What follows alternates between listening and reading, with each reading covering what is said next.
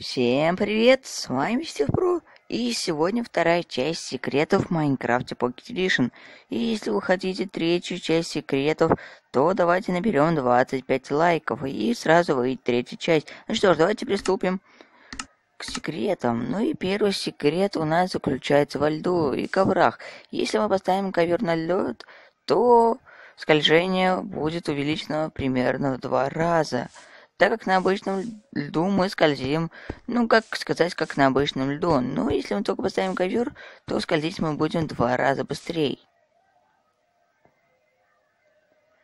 Второй секрет заключается в шрифте. Если мы поставим табличку и найдем параграф и нажмем на любую цифру, то мы сможем писать цветным шрифтом. А, многие могли об этом забыть.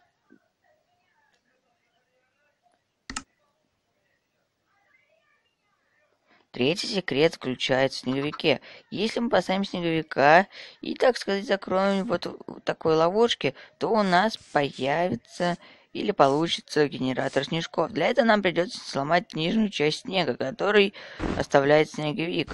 И у нас так получается бесконечный генератор снега. Четвертый секрет заключается в лопате земли. Если мы лопатой тапнем по обычной земле, то у нас образуется некая деревенская тропинка.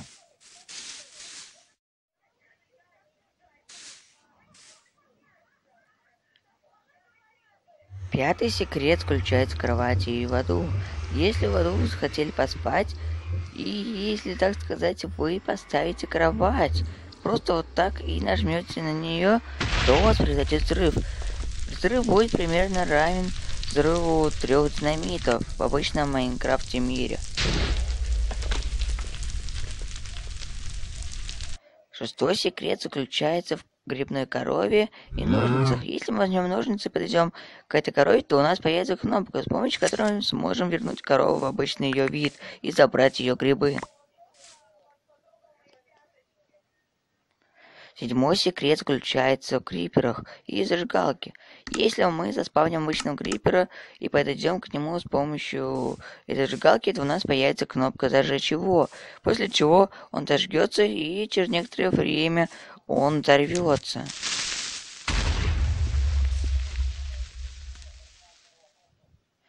Восьмой секрет заключается в стеклянных панелях. Если враждебный моб или обычный моб стоит близко к ней, им, то мы сможем его ранить с помощью лука.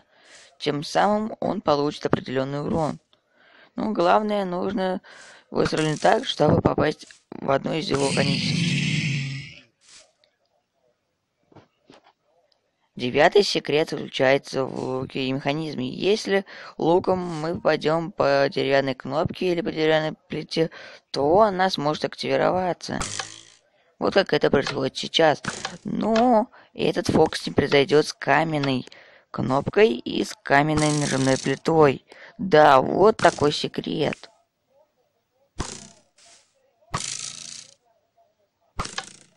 Вот как видите, все работает.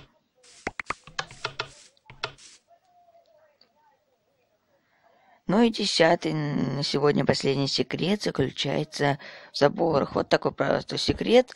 Если поставим адский забор и рядом с ним обычный забор, то он не захочет с ними скрепляться. То есть он будет скрепляться только с своим адским забором.